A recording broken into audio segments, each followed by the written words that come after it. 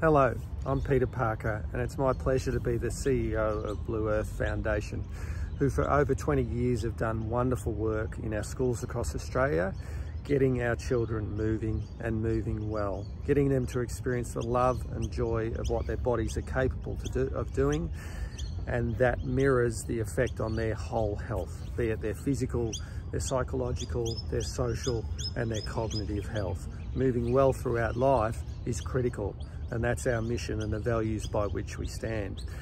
But are we winning? We are not. We are not. The problem is getting bigger, much bigger, and it now says that one in 10 children are meeting the physical activity guidelines that are needed to have a healthy life. That is a staggering statistic, and it means nine out of 10, 10 children are not moving well enough and may well suffer the burden of chronic disease as they move through their life. This is simply unacceptable. And as a charity, we are now have it, well, we now have a bold mandate to become a peak advocate in this space, and we will do so. And we will push very hard to empower and bring a positive message to Australians and put pressure on those in charge to try and lead the way with programming and funding to help Australians move part of what I wanted to say this morning is that, you know, there's a lot of attention at the moment on vaccines for COVID and how we're going to prevent the spread of it. Well, I'll give you a tip. The number one way to build immunity is to move well and to work on your well-being. We need to see a broad positive advocacy around Australians moving better and getting healthier. That's the number one way to build immunity. So let us help. Let us advocate for that. Look at what we do.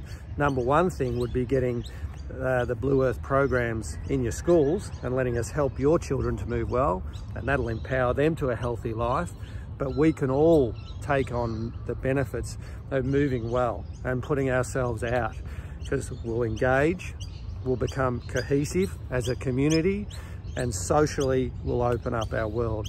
That eye-to-eye -eye contact of humanity is critical.